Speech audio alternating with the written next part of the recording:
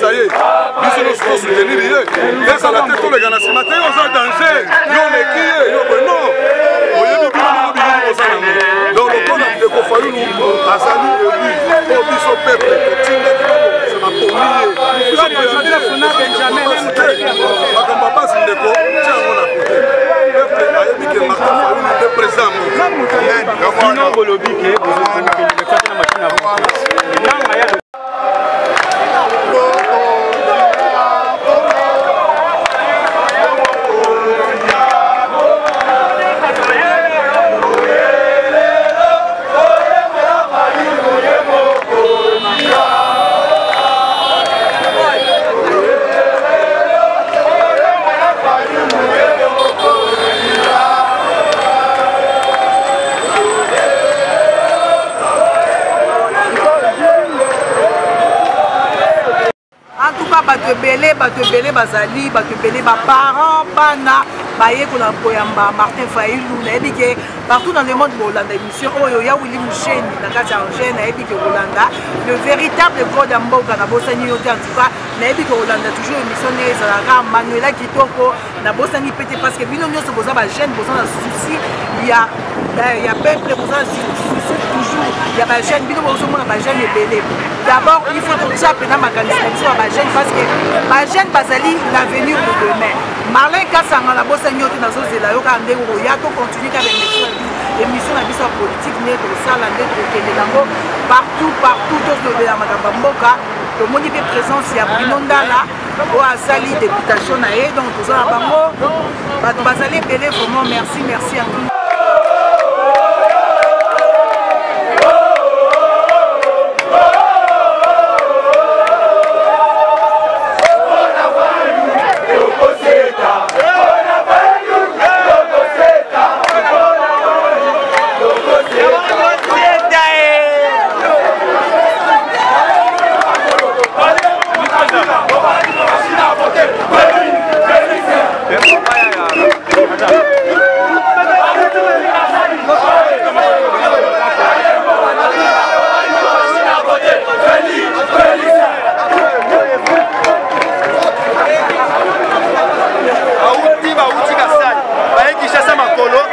bale mbongo ya kabila mpo andima mashine ya vote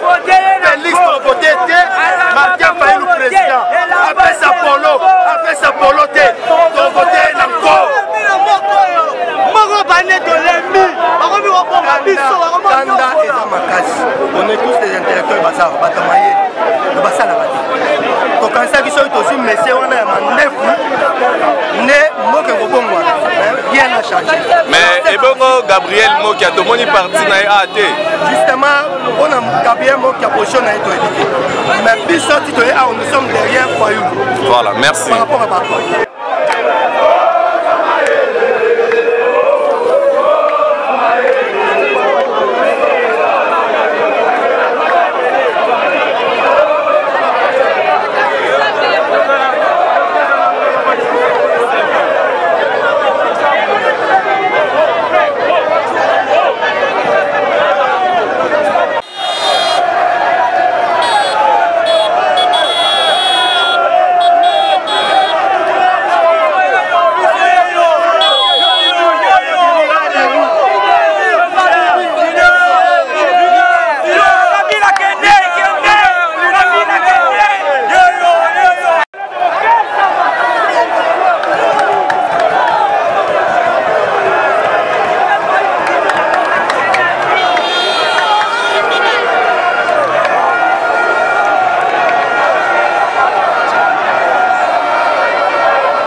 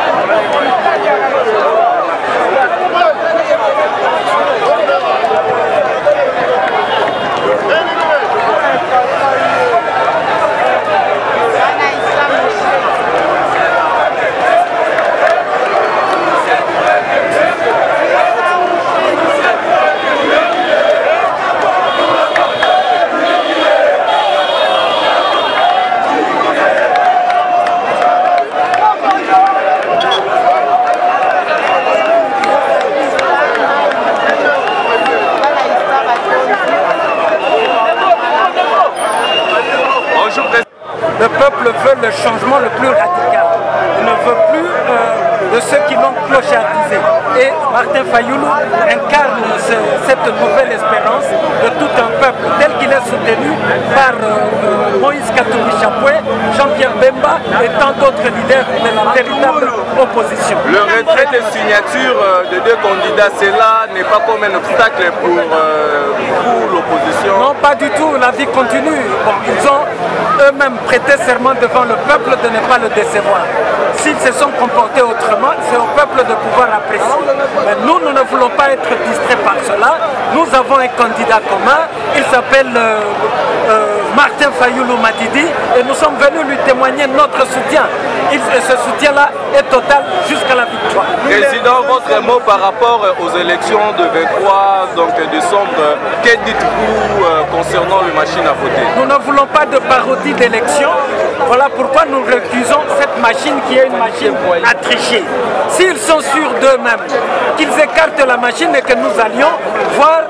la véritable expression du peuple congolais. Nous ne voulons pas que le vote du peuple soit volé. Donc nous allons le 23 décembre prochain aux élections sans cette machine à dauphin, la machine à tricher. Merci beaucoup. Merci Merci,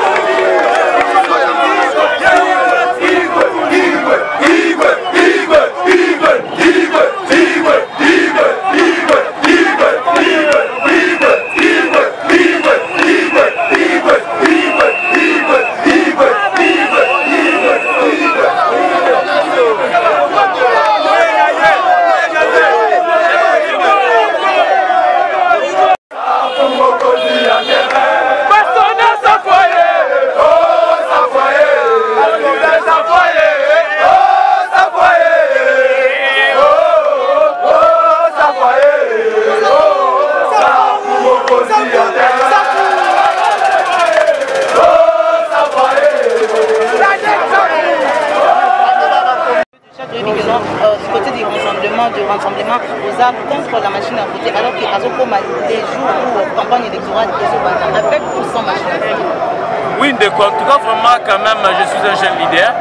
je suis un jeune élite à combien de fois on peut conduire ces pays, diriger ces pays sans constitution Comment est-ce qu'on ne doit pas respecter les textes keti na loi électorale okotala loi électorale bande bandeti suka likambo ya machine à voler to machine à dauphin eza te mais mpo na nini mboyo otambisamaka na bacor na basentiment par des émotions personnelles on doit diriger ce pays non yango bozokozo ndenge eza cope na biso moto avandi boye tosali cope na biso tozwi machine à voter totie yango non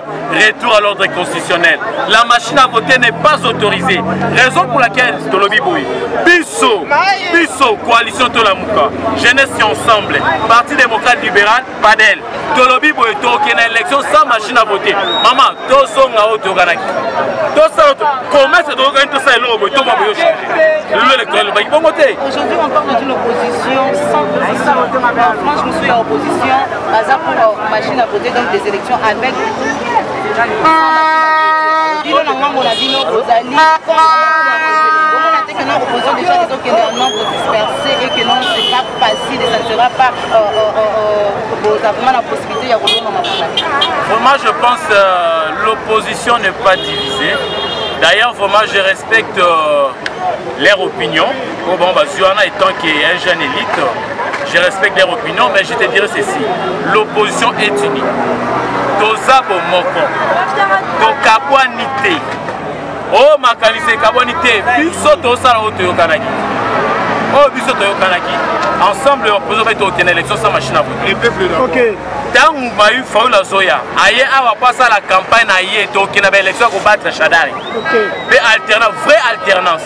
tokolongola machine à voter toa na deux objectifs deux missions à signer tobataki campagne mpo na candidat commun na biso tobataki campagne contre la machine à voter mpe d'ailleurs pour votre information ekokoka te mpe machine à voter eza te donc bokenda maponami confirme là que non maponami oyo esalama le 23 décembre a ah, eza sans machine à voter ah mais oui d'ailleurs je suis candidat député national na district ya changu mais je donné ma caution nasali pré-campagne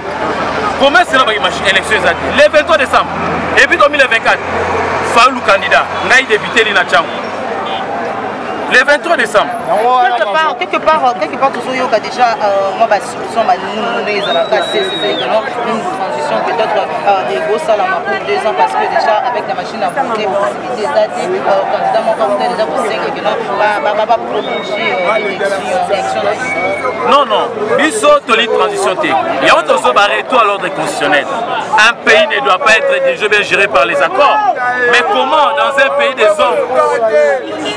constitution botie libanda bozwi botie accord edirige mboka esimba te biso toza d'accord te mpo na transition il y aura pas de pitié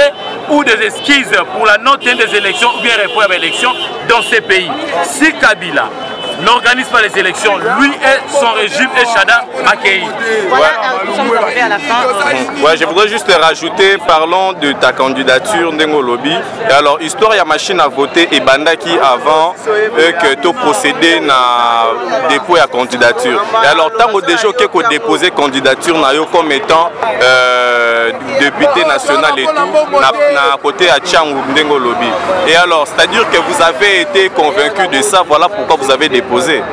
non non la candidature la loi électorale ebima avant machine à voter parce que moi na kati ya loi électorale machine à voter eza te ngai na dépose candidature na ngai te mpo na machine te parce que d'après tout nde naza boye naa na leader na kati ya ntango naa leader nalobaki natya